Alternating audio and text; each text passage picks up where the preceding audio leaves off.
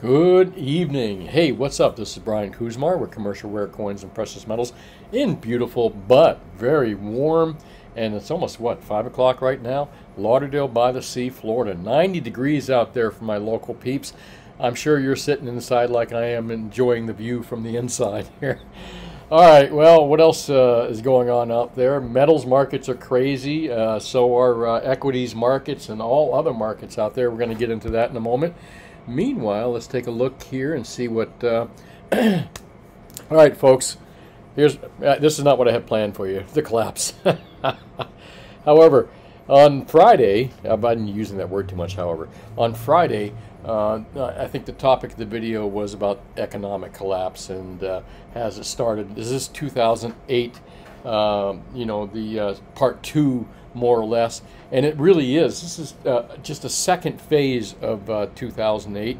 And it kind of it took me a little. I've been talking about it for two years now that we we've never really recovered from 2008. All we did was just band aid the problem up. All we did was it's a sinking ship like the Titanic. All we did was just uh, patch up the ship uh, with more you know more patches. Meanwhile, these patches are leaking and the more leaks are popping up everywhere, and that's what we got going on right now. The, you know, the Fed and the government never fixed the problems in 2008. We had that overnight collapse, the collapse of Lehman Brothers, which a lot of us are starting to understand could have happened because of silver. Uh, but that's a whole different topic. And, uh, uh, you know, we're, we're taking a look at the uh, uh, stock market starting to collapse. It just couldn't uh, contain itself. It, it, was two things that were going to happen here. the Fed was just going to kind of endlessly continually print money, and you know that's not going to happen because it, the Fed does have um, a survival, you know, a survival mode that they're in right now, and it's either going to be the economy, or us, or the government, or them, and more than likely, the Fed is not going to uh, uh, uh, um, put themselves out of business by, by continually keeping rates down like they were. And the stock market, which is flying higher and higher, they had to deal with inflationary uh, uh, uh, issues here. Folks, it's no longer the problem with a pre-planned marketplace, and that's what you've got with the Fed going on right now, is planning. You've got central planning in the marketplace. The problem with that is it totally throws out the window uh, uh, the, the free marketplace. It really does. It throws out the window uh, that prices are made by uh, supply and demand. All right. When, when you have artificial monies, obviously we've had it for quite some time, but uh, uh, not backed by anything that could just be printed. I mean, we had to expect all this uh, happening. And I think what a lot, a lot of people, including myself, kind of get confused with is we are perhaps looking for another 2008 style collapse. uh, and uh, uh, excuse me, let me take a quick sip here. Throat's a little dry today, but uh, uh, I think a lot of us were expecting a 2008 style collapse, which we haven't seen. We haven't seen that overnight collapse of the market. We haven't seen that 20 and 30 percent drawdown in real estate markets in such a short period of time. Uh, and the reason I don't think that we've seen that collapse happen again is not because they fixed anything, not because the problems are over with. In fact, quite the opposite, in my opinion. They've made things worse. They've doubled down on their stupid. And uh, uh, things aren't any better. In fact, things are quite worse uh, to many degrees. So the collapse it, it really probably began before 2008. It's pretty obvious that it has. You know, historians, honest economic historians, one day will will, will note that the uh, 2000 collapse was inevitable, and it probably started when we came off the gold standard in the 1970s, and it probably started before that. It's just a long-running thing that you know we didn't see really blow up in our faces until 2008. Uh, and I think we're, we're seeing the same thing right now, except that the one thing that government did learn was not how to fix things. The Treasury has not learned how to fix things. Uh, as I've noticed, they, or as I've said, they just bandaged up the patient, the hemorrhaging patients. And the patient's still hemorrhaging, but just less because there's bandage. But meanwhile, the bleeding just never stopped. They never fixed the issue. They never fixed the holes in the ship. Uh, they just kept uh, pumping out the water and creating new money. And that could not end well. That does not end well. It will not end well. In fact, I believe, again, 2008 was just could be the second or the third phase of the uh, economic collapse we're going to see because of a fiat-driven dollar and centrally driven uh, uh, central planning, uh, central economic planning. Uh, Greenspan once said that the uh, running the Fed and, and figuring out interest rates was like driving a car with a rearview mirror. You, you could only use what you've seen in the past happen to you as a guideline to what you wanted to do in the future. And again, folks, this is not supply and demand driven. We are no longer in a supply and demand driven fiat world. We're no longer in a supply and demand driven commodities world, as obvious with the price of silver. It's centrally planned, and a lot of it's planned by crooks as well. The collapse has begun, folks. It began a while back ago. It's not happening right now. You can say it began when Nixon took us off the gold standard. You can say it began in 1913 when the uh, Fed took uh, Fed took over. You can say it began in 2008. I mean, you know, pick your time frame. Again, I think that honest historians, economic historians, one day will be able to probably take the timeline back to the point of 1913 when we allowed central bankers to take over our economic system and our money. Uh, remember, the Constitution said that only Congress shall, uh, uh, you know, say what money is and isn't in it, and not what money is and isn't. Only Congress shall have the right to approve money uh, and create money, and that money shall be made out of gold and silver. I think that you could make the case that the uh, economic collapse of this country if you're looking at in a macro standpoint, happened when we got off the gold and silver standard and allowed the bankers to take over in 1913. It's been a slow downhill uh, ride to hell ever since. Uh, so when did the collapse begin? Yeah, you could say it began back then, but it, you know we live in such such short time spans. You know, my time span is of a, of a middle-aged guy, and uh, my you know and I wasn't born in 1913 I wasn't you know born yesterday either. So my view of the economic world is my sl- thin slice of the uh, the good times and the bad times. And when were the good times? I think you could say post-war uh, 1960s uh, well 1950s 1960s uh, weren't too bad well again my I didn't grow up in that time, so I really can't tell you. I wasn't a working person. I might have said it was prior to that, but uh, um, hmm, interesting, interesting thought here. I just kind of created for myself here. But we live in such, you know, uh, you know, again, middle-aged man. Say you're 50 years old. Uh, your, your time span is between what 1960 and uh, 2010. All right, that's what you recognize. So if you see an economic boom or collapse in between that time, that's what you're you know that's what you view everything as so in our in, in the time frame of a middle-aged person like myself uh, you can say that uh, we've seen a couple collapses in the economy. One would be the 1970s. Uh, it, Nixon took us off the gold standard. Uh, inflation shot up its ugly head. Interest rates were just insane.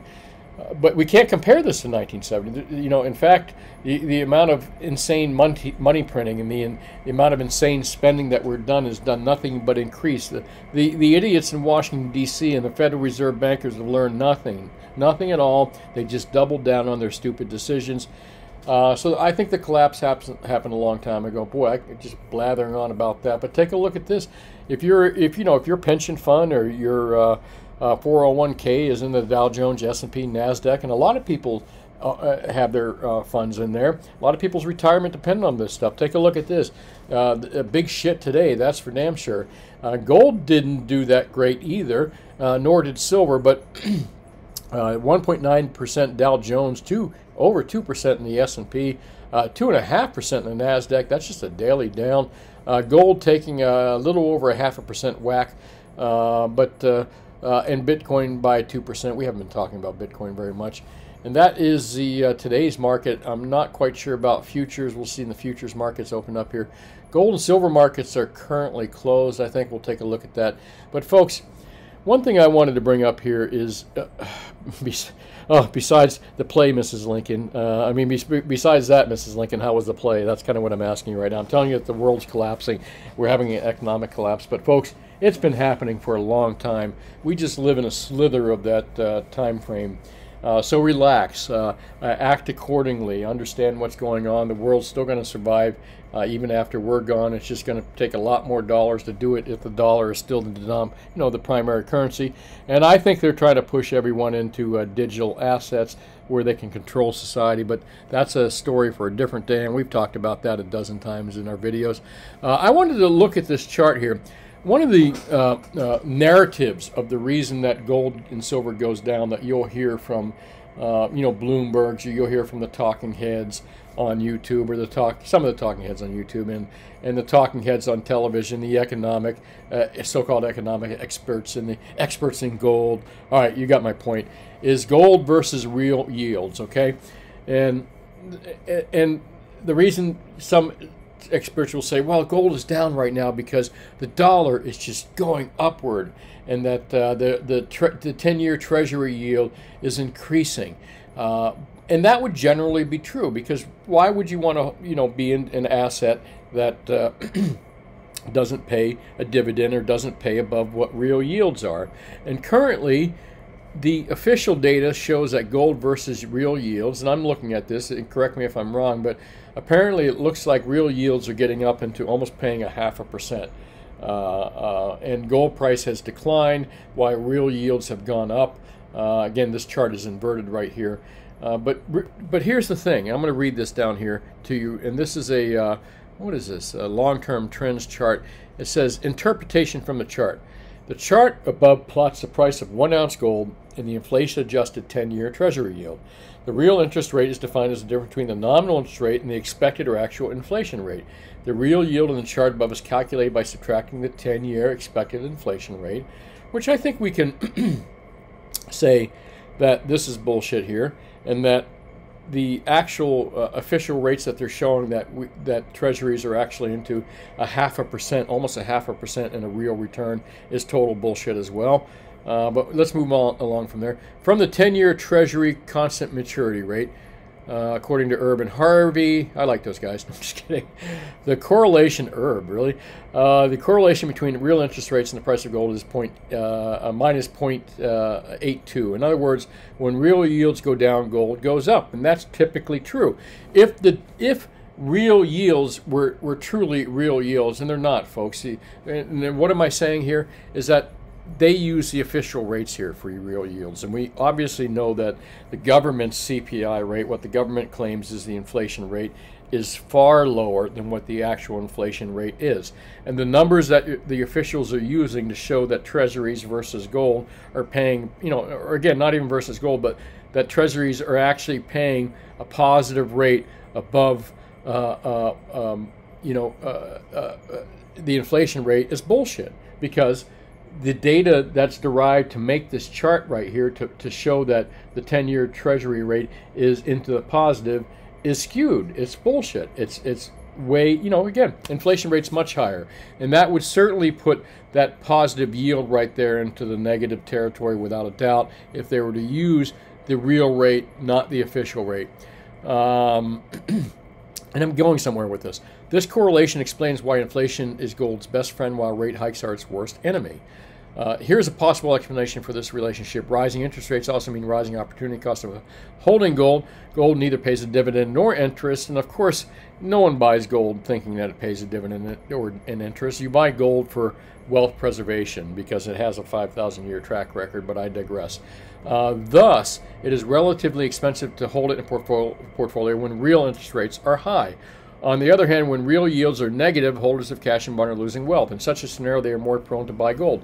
And what we got going on here, folks, is the official rates uh, would would lead you to believe that treasuries are paying a positive rate when indeed that is not true because the rates that they use to figure out inflation are totally bullshit and under, you know, way below what the actual inflation rate is. I think you got my point there. And all you got to do is take a look at I bring up this chart all the time, but really, if you want to feel good about being in gold and silver as a uh, preservation on, of wealth, then all you need to look at is obviously you don't want to look at the stock and bond, the S&P market today. uh, all you need to do is look at what the buying power of the dollar, not the dollar index, which is confusing to some people. Oh, look, the dollar's getting stronger. The dollar index and the strength of the dollar in the index does not mean that that buys you more shit folks. It doesn't mean that at all. That's the misinterpretation that the average joe gets is that the dollar strength is good. Oh look the dollar's up. The dxy is up. That must mean that i'm buying more shit with my money. No this is the real chart when it comes in. This is the official chart here. And I'm sure that this decline is even greater. Again, remember the that they're using the official rate of inflation here.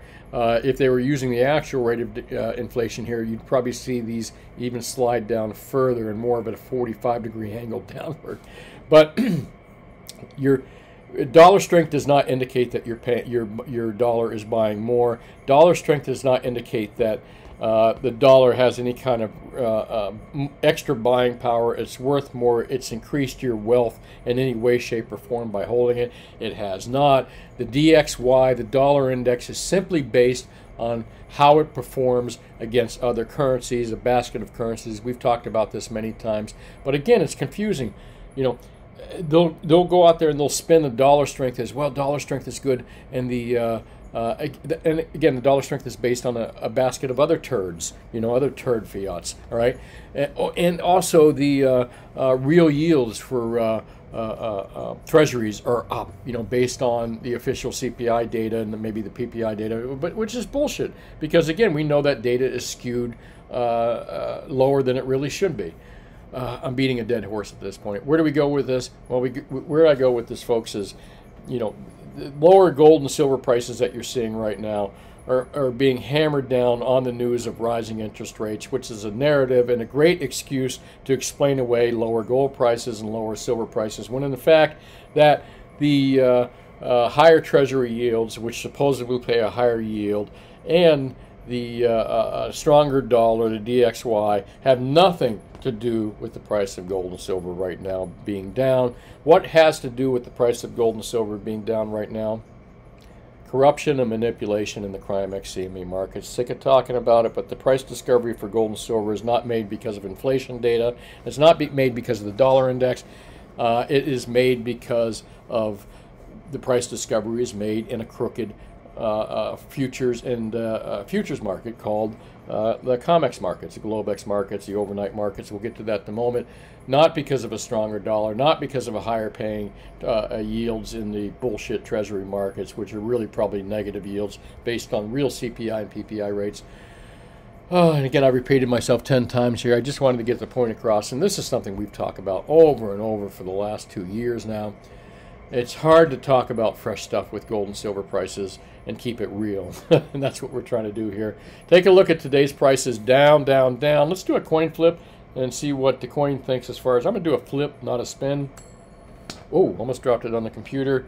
And it's a heads. It shows that we're up tomorrow. I'd be surprised given the criminality in these markets right now. I think that they're driving the price of silver down. Here, here's my little conspiracy, and I've been right on my conspiracies so far. I've not been, you know, I really have when it comes to gold and silver. Uh, they weren't conspiracies. We, you know, it, it, all turned out to be true. What we said for years and years and years that J.P. Morgan and these other crooked banks are are uh, manipulating the price of gold and silver in the paper markets and the COMEX markets, and it's all been proven true. But uh, this is a gift, folks. These lower prices is a gift. If they're going to criminally drive these prices down like they have been, artificially drive these prices down of gold, silver, and platinum, take advantage of it. Buy the real shit. Leave them hanging with their paper crap. Uh, gold at 1737, good opportunity to buy. And uh, I happen to know a close family of my member, uh, close family member of mine, someone I love very much, just stepped in and bought gold themselves. Um, I try. I don't sell it to them. They just ask me and ask me and ask me. They said, "Is now the time? Is now the time?" And I couldn't say no. It's not. Again, buy these dips. I think it's a great opportunity. Could it dip lower? Sure, it is. Sure. I mean, sure it is. Sure. God, Freudian slip. Sure, it could. All right. I wish I knew that sure it is. I'd do a short position myself and make myself a billion dollars. And silver popping up above that 19 mark, kind of getting killed in the overnight markets. We'll take a look at that and platinum as well. Let's take a look at these 24-hour charts. Look, uh, Sunday night, this is when this market, look, look when the market gets hammered in the overnight markets. Who the frick trades gold in the overnight markets like this? Maybe in the London markets, but who trades gold and sells a shit ton of gold into, you know, paper gold into these markets? For any good reason. Why would you do that? You, wouldn't, unless your intent was to drive these markets down so that the morning markets at COMEX would be driven down as well. But that didn't quite happen. But these markets were spoofed downward overall. I think they've been spoofed in the overnight markets. You know, prove that though. That's the point. Hard to do, and the government just barely made a case doing it recently, but I still believe it's still being done out there. These markets are still being spoofed downward, gold and silver markets. Take a look at this $19. Let's take a look at that overnight chart as well. Drifting down in the overnight markets. Who the hell sells large amounts of silver or any types of silver in the thinly traded overnight markets with anything other than the intent to drive the market downward, and that's exactly what they got going on here. However, it looks like there was a bid up and people were buying the New York COMEX markets uh, overall. But these markets, folks, oh, gosh, so crooked, so crooked. Uh, but again, great opportunity for us to buy the dips. Uh, good article, by the way, that you don't have to pay for. Ted Butler put this out in his newsletter for August 18th for you folks that subscribe to Ted's great newsletter. Um, here's something you don't have to pay for. Just go to uh, silverseekers.com and, and type in the short position in SLV by Ted Butler. And uh, highly recommend you read this article here.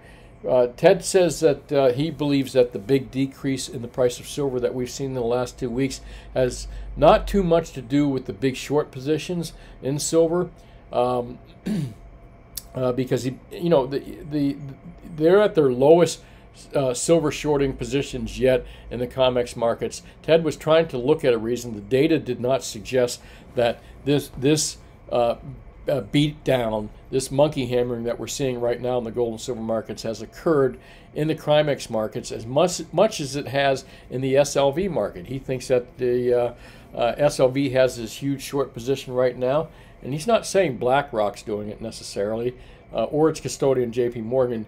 He's not saying that directly, but he is saying that SLV probably needs to cover this huge short position they have. Very interesting stuff, folks.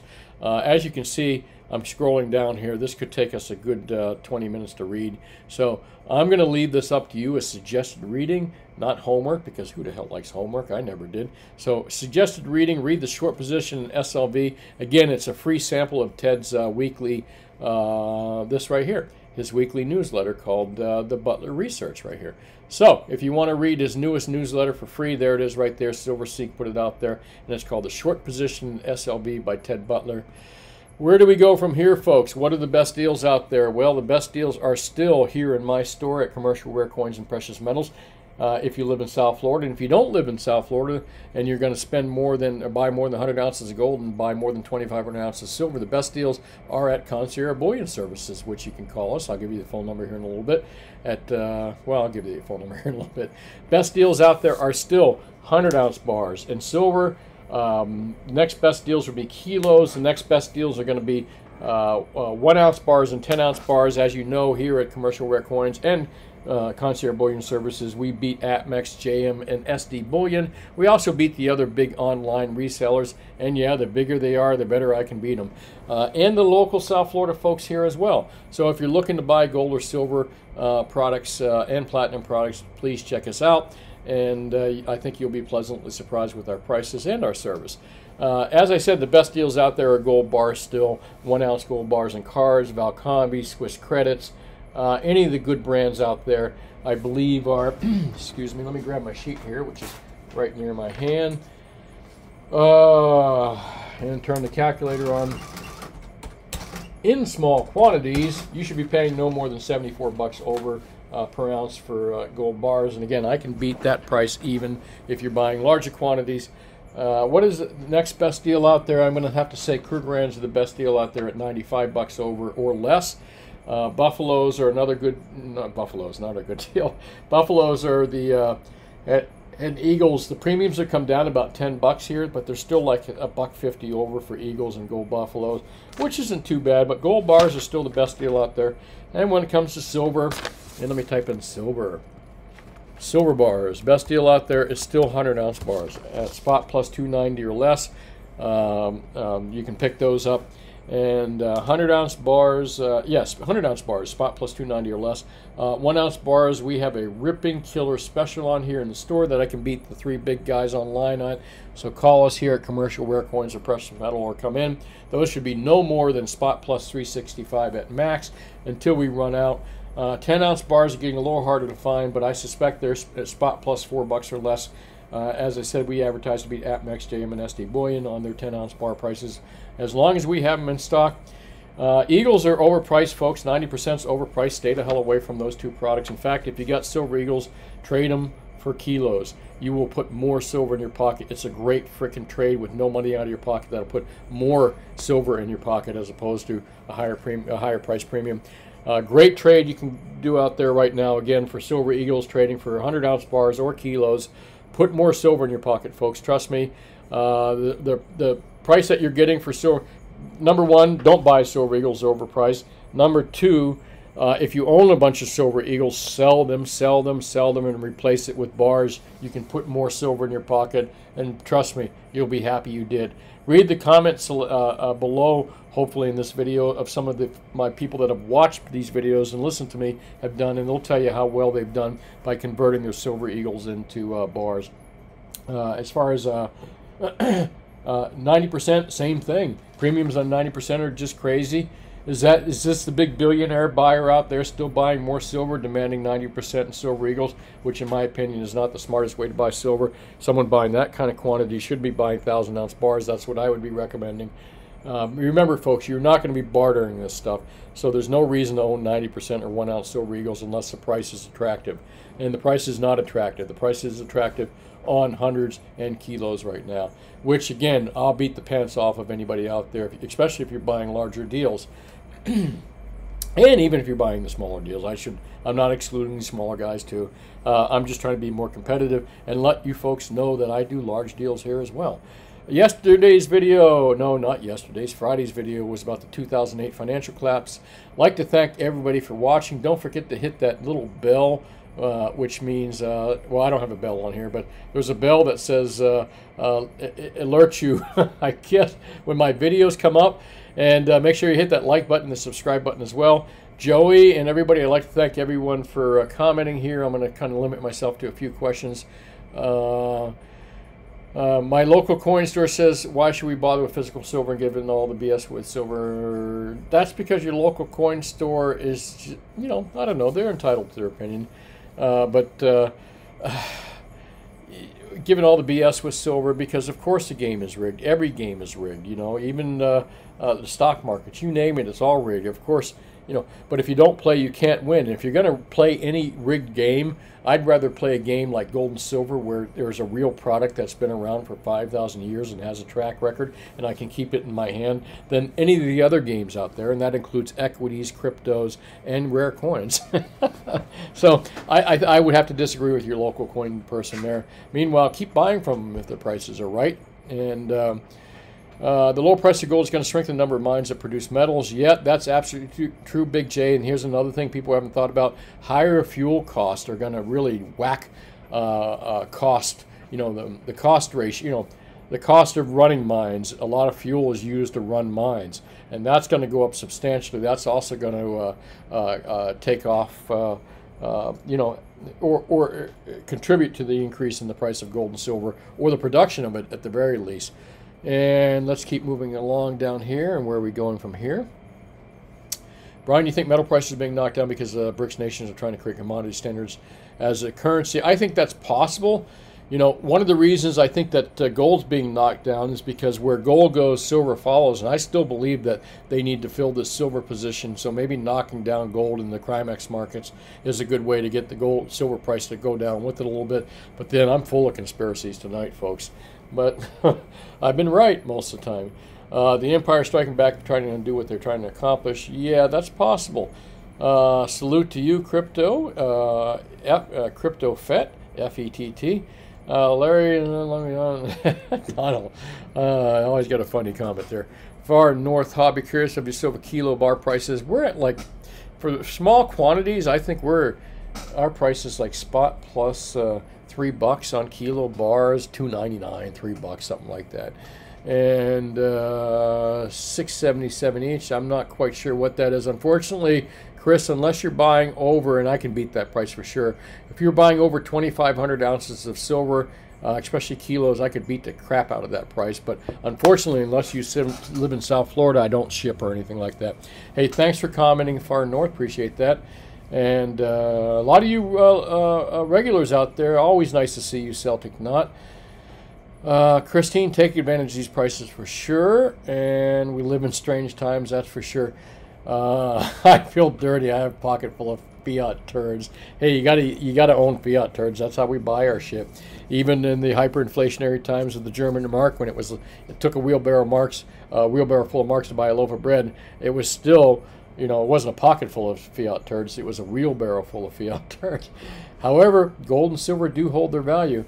Hey, listen, folks, that's it. Thanks, uh, thanks for watching, and uh, uh, think for yourself. Always question authority. And as I said, if you don't live in South Florida, you can't come to our brick and mortar store, which is Commercial Rare Coins and Precious Metals in beautiful Lauderdale by the Sea. There's our outside right there. Um, uh, we're open 10 to 4 Mondays through Fridays here. If you if you don't live in South Florida and you're looking to spend more than a or buy more than 100 ounces of gold, more than 2,500 ounces of silver, uh, here's the way to uh, do business with us here. Uh, it's Concierge Bullion Services, and I'll give you the phone number. Again, just type in conciergebullion.com. Uh, it gives you a little uh, details about who we are and uh, who I am. And it talks about uh, there's our minimums right there 100 ounces of gold, 25. And again, we can do this by phone, not online, but we do this by phone with wires and confirmations and that kind of thing. We can be reached at 954 302 2046. Again, if you don't live in South Florida and you want to buy more than 2,500 ounces of uh, silver and 100 ounces of gold, uh, that's, the, that's the place to call us. And if you do live in South Florida and you're buying under those amounts, even those over those amounts, you can visit us at Commercial Rare Coins and Precious Metals. Happy to help you out with it, whatever you need. Well, ah, boy, that's a long one. Thanks for watching, folks. Oh man, a heads up to all you Wall Street silver folks. I watch out there every day, and I appreciate you watching my videos. And again, folks, I'm going to close it at that. Thanks for watching. Have yourself a good evening, and uh, let's see what happens tomorrow. Good night now.